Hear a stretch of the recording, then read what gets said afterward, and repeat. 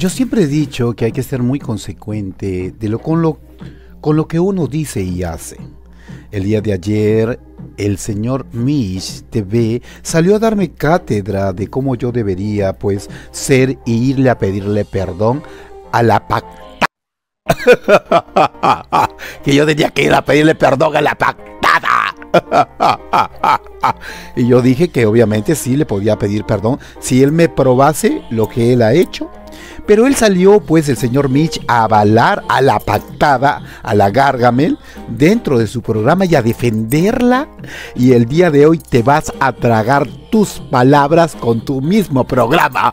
¡Claro que sí! Vamos a empezar. Esperando que el día de hoy todos ustedes estén contentos en casa, Rodolfo del Prado viene súper animado, vestido con un polo súper espectacular. No me van a decir que soy deportista. el día de ayer salí con varios polos que me he comprado, ¿no? Ay, súper regios.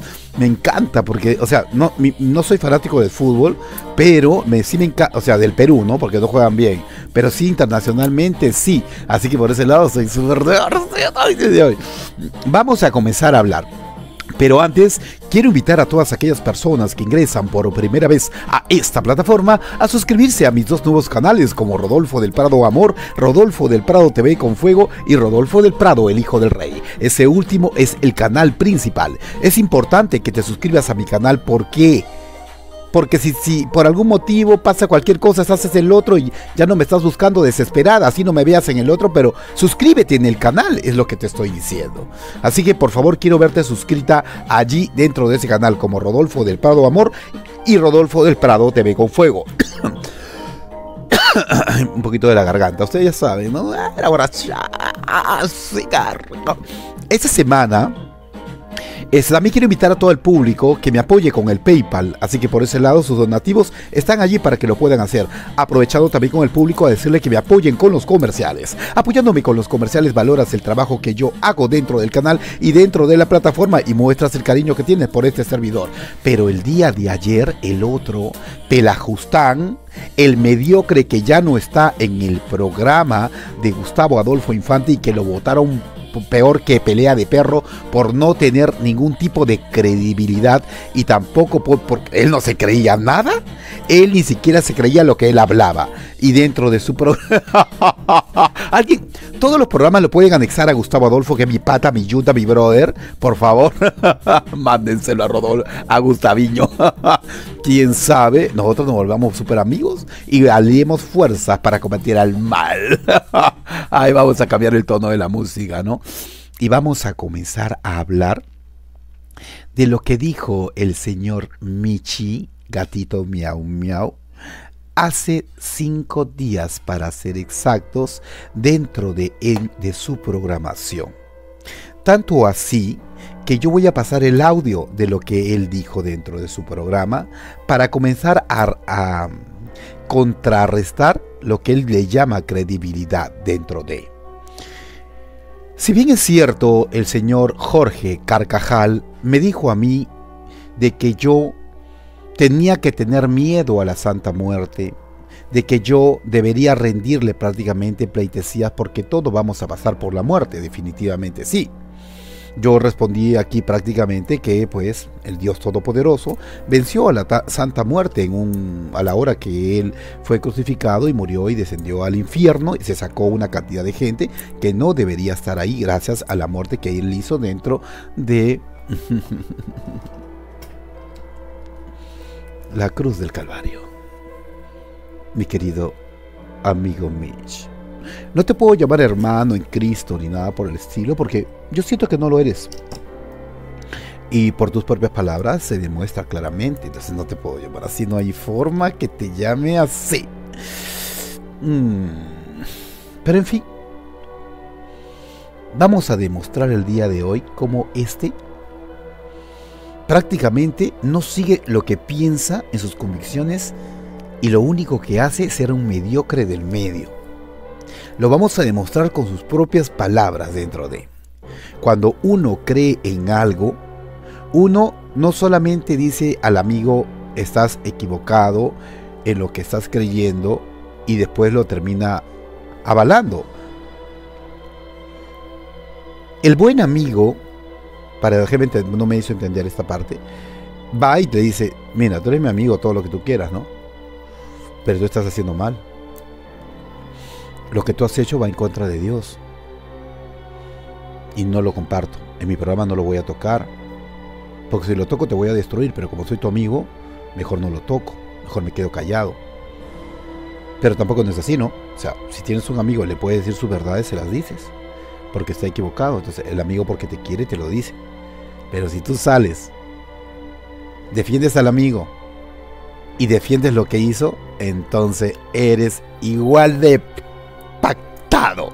Déjame decirte. ¿Qué más te puedo decir? Michi, miau, miau. Él está como las gatas, ¿no? Que se suben al techo a miau, a, aullar, a miau, miau. Se que ve el gato. y la comienza después a corretear el gato.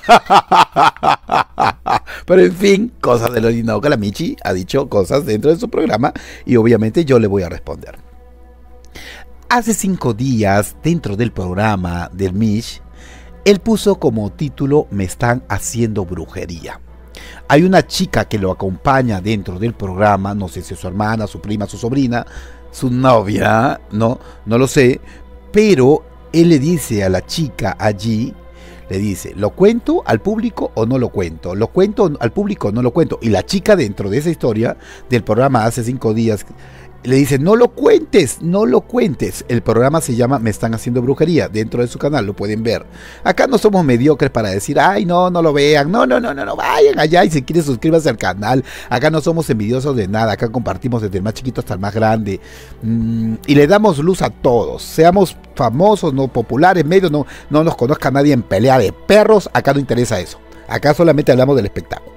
La gente decide a quién va a seguir y a quién no y punto, se acabó. Cuestión que le pregunta a él a la chica y la chica le dice, no, no, no, no, no, no, no. Pero como la otra también parece que es santera y no cree ni siquiera con la que está... No, no.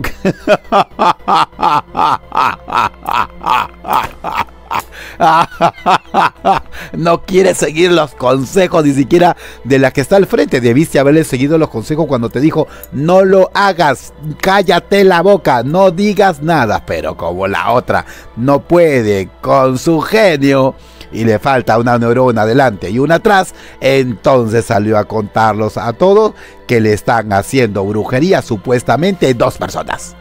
Entonces el público se pregunta, ¿no? Porque ahí lo decía dentro, dentro de su plataforma, lo que estaban escribiendo, dando sus mensajes, decía, pero ¿quién, quién, quién, quién te está haciendo brujería? El innombrable, según él. Yo decía, pero ¿quién es el innombrable? Ah, ya sé. El innombrable es la Santa Muerte. Eso fue lo que yo pensé en ese momento, ¿no?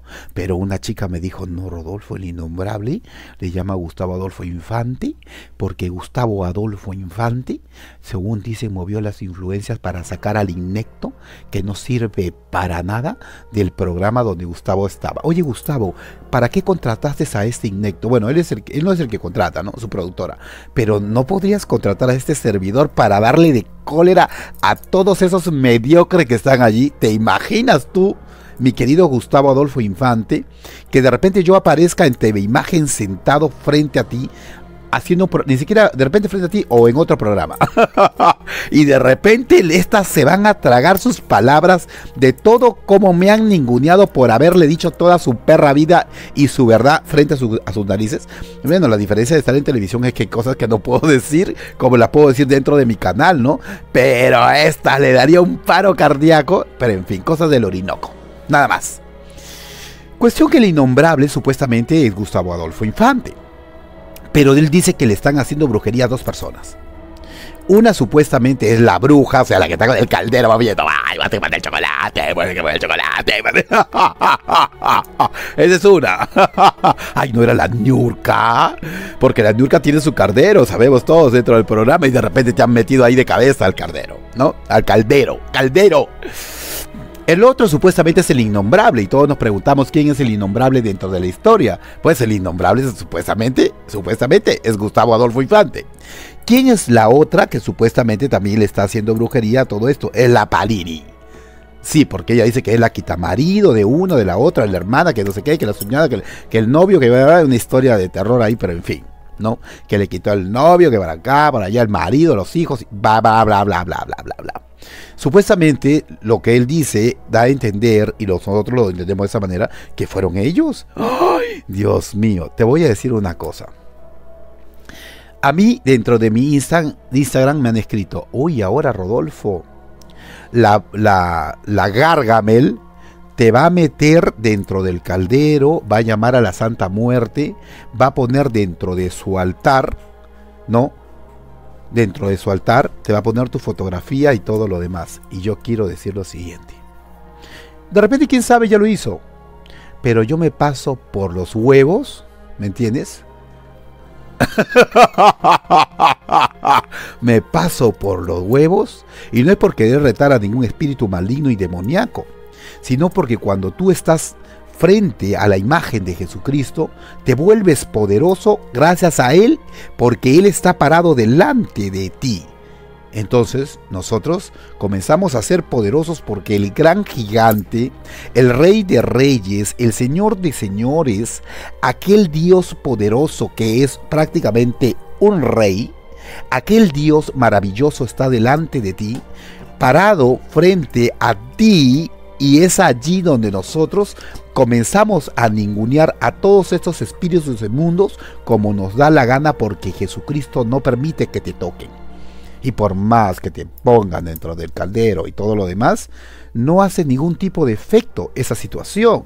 Por eso voy a recitar un verso bíblico. Si, tu enemigo tiene hambre, pues dale de comer. Si tiene sed, dale de beber, pues haciendo esto aguas de fuego amontonará sobre tu cabeza. Quiere decir que yo desde acá bendigo al Mish, bendigo a la tortilla de la, de la Gargamel y también bendigo a todos sus seguidores demoníacos que me están haciendo la vida imposible y que creen que me van a dañar. Bendecidos están en el nombre de Jesús y por el poder de la sangre de Cristo. Nosotros los cristianos que realmente creemos en Dios y lo seguimos, no sabemos prácticamente que nuestro poder está dentro de la imagen de Jesucristo, no, no imagen puesta, ¿no? De, su presencia, básicamente, porque yo no creo en ningún tipo de imágenes. Y radica básicamente el poder ahí. Por eso salimos así a torear el toro vestidos de rojo, así, decirle, acá estamos. Somos los hijos del ganador, del triunfador y del de, quien resucitó. No necesitamos ir a ningún santero, brujo, pasahuevo, rata, cuy, para que nosotros seamos ya triunfadores en el nombre de Cristo. No, no, no, no, no, no, no. No necesitamos. Solamente necesitamos conversar con Él y pues, más que suficiente. Y las personas que atentan contra ti, al momento de que tú los bendices con el verso bíblico que yo, que yo acabo de narrar ahorita, Jesús dice, mía es la venganza, yo pagaré, dice Jesús.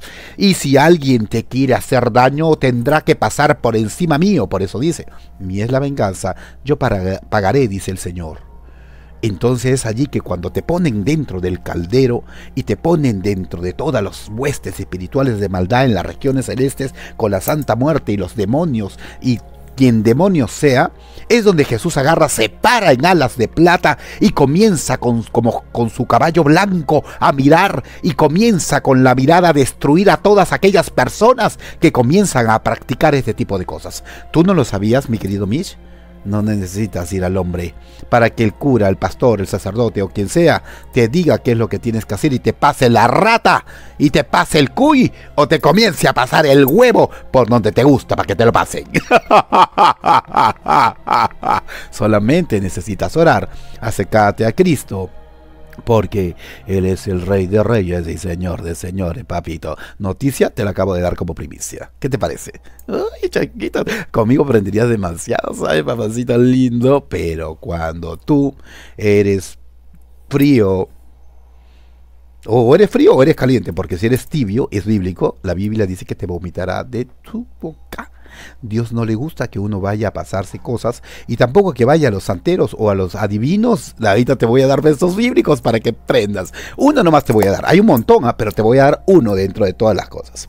Supuestamente él dice que un amigo que es pastor ve ese tipo de cosas y, y dice que hay que trabajarlo para que supuestamente sea protegido, bueno, por medio de oraciones y supuestamente porque le va a pasar el huevo.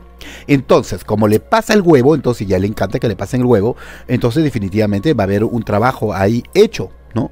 Ay, ay, ay, yo nunca en mi vida he visto a un pastor que te quiera pasar el huevo y que al final termine como que leyéndote las cartas y termine adivinándote cosas a no ser que tenga el don, porque en la Biblia hay don de lenguas, hay don de visión, hay don de traducción de lenguas y sin fin, como siete dones.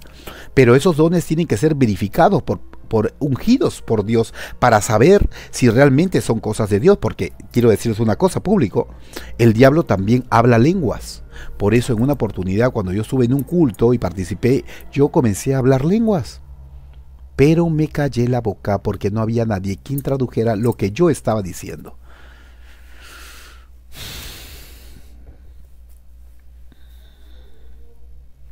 Según lo que él dice, quien le pasó el huevo al Mish, dicen que le han tirado algo que tiene que ver con el panteón, ¿no? Que le echaron, lo echaron al panteón, lo tienen entre velas y un altar, velas de color negro, y que lo tienen aladito, aladito, aladito, bien paradito de la Santa Muerte. ¡Ay!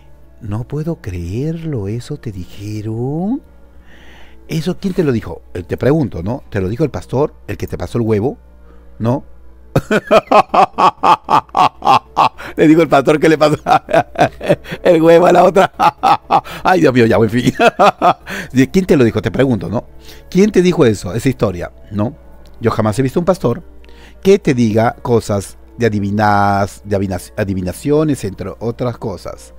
El hombre que está dedicado a Dios no actúa así ni te pasa el huevo.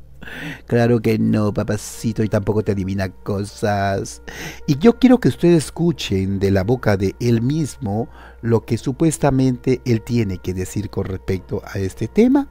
Porque de repente lo que yo diga pueda caer en saco roto porque la gente dice él no tiene credibilidad. Y yo prefiero pasar un segundo de prueba para mostrarlo dentro del programa. Atención, por favor. Prende tu televisión, pásenle la voz al Miss, igual te voy a anexar el programa y también se lo voy a anexar a Gustavito Adolfo Infante, mi caballo ganador. Ya saben quién son ni para qué digo nombres, pero ustedes ya saben quiénes son, que eh, pues no me han soltado, que me siguen haciendo daño y en este momento que unas cosas, me dijo que era una cosa que se llamaba algo de panteón, que eso me echaron, que me tienen en un altar negro con velas negras y con la Santa Muerte, y ¡Oh! me tienen, ¿cómo más que dijo? Con la Santa Muerte. Te tienen con la Santa Muerte y estás recontra preocupado ¿Estás totalmente desconsolado? Inconsecuente total. Inconsecuente total. Que no saliste a defender a tu amigo, tú, según de las garras de este servidor siendo el hijo del rey que no saliste a decirle a él que lo que yo había hecho estaba mal y que tenía que pedirle perdón, como que si yo hubiera vendido a su familiar a la muerte, aquella santa muerte a la cual tú le tienes miedo y que lo acabas de decir que estás prácticamente aterrado, aquella santa muerte que tú saliste a avalar dentro de tu programa apoyando a una persona que hizo eso con su madre y que supuestamente te están haciendo brujería y te han puesto en un altar llena de velas y al costado te han parado a la santa muerte y estás muriéndote de terror, aquel defendiste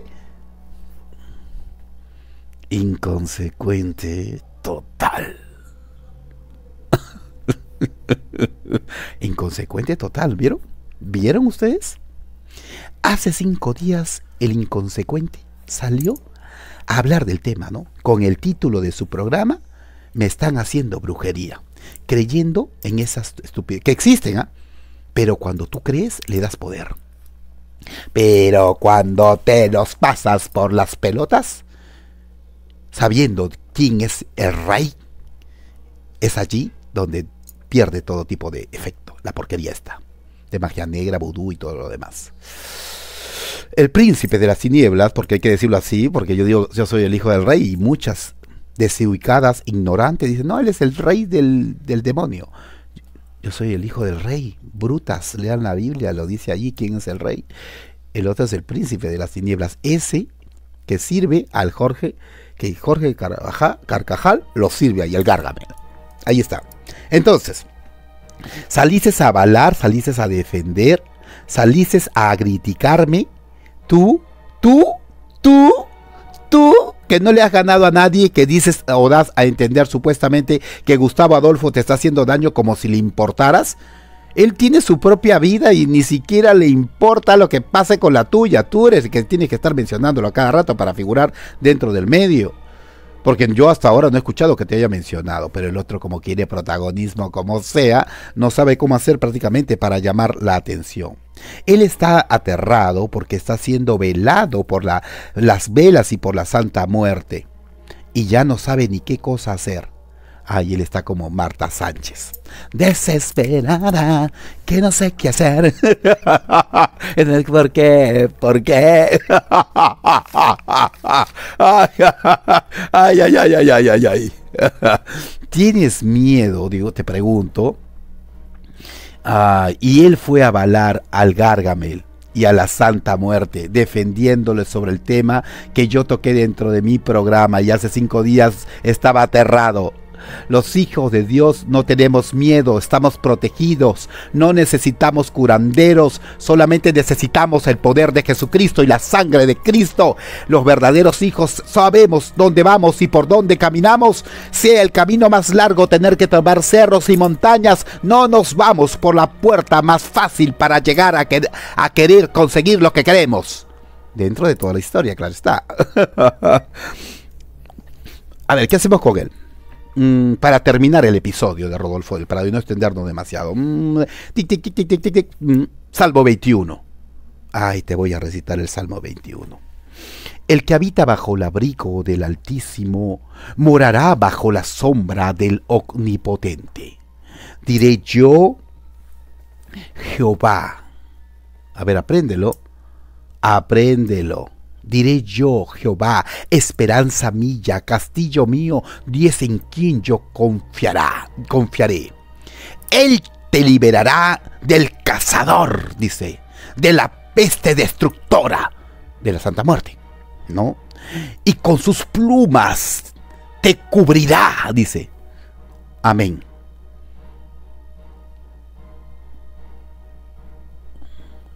Y debajo de sus alas tú estarás totalmente en posición fetal ya.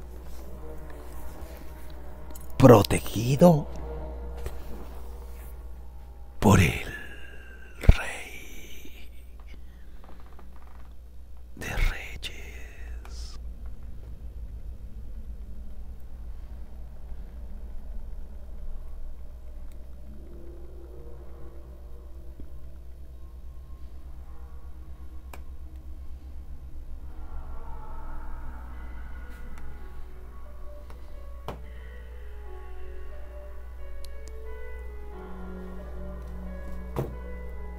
Y Señor de señores.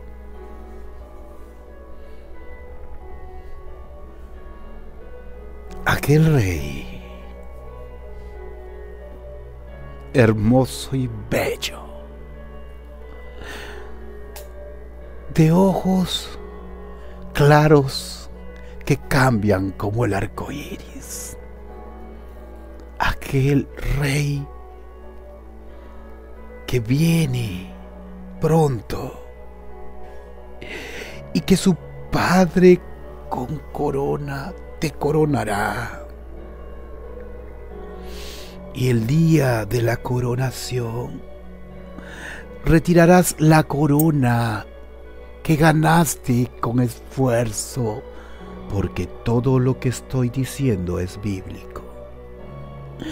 Y te la quitarás y te arrollí arrodillarás, bajando tu cabeza ante el Creador y le regalarás aquella corona que el Padre te dio como agradecimiento por todo lo que hizo por ti.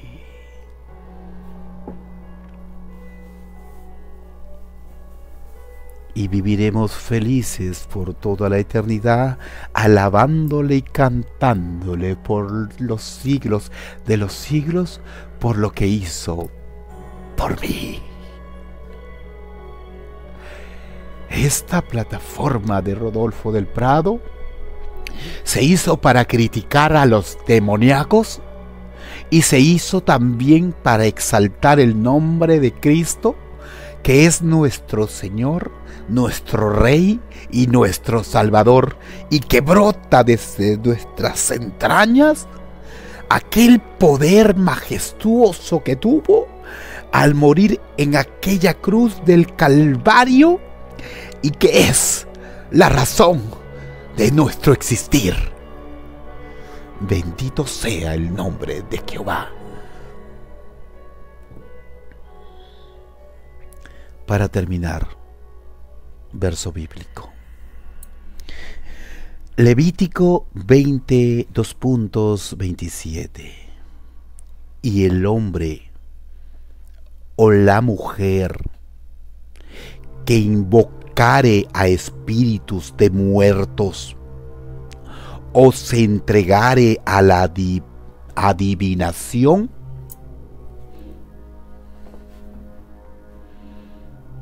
tendrá morir. Palabra de Dios. Amén. en esta oportunidad tenía planeado mandarle saludos a mi público, pero creo que no es el momento para hacerlo. Yo soy Rodolfo del Prado y he venido a esta plataforma. Soy sonriente, coqueto, sarcástico, diciendo una verdad allí que pocos entienden prácticamente, porque no todos somos elegidos para entenderla. La Biblia dice que el diablo cegó el entendimiento de los incrédulos para que no le resplandezca la luz, pero Dios abrió el entendimiento. Mi nombre es Rodolfo del Prado, gatito miau miau. Y yo soy el hijo de un rey que entregará corona en algún momento de su vida y que vine aquí a decir la verdad solo la verdad y nada más que la verdad y realmente lo juro. Para prueba, un botón.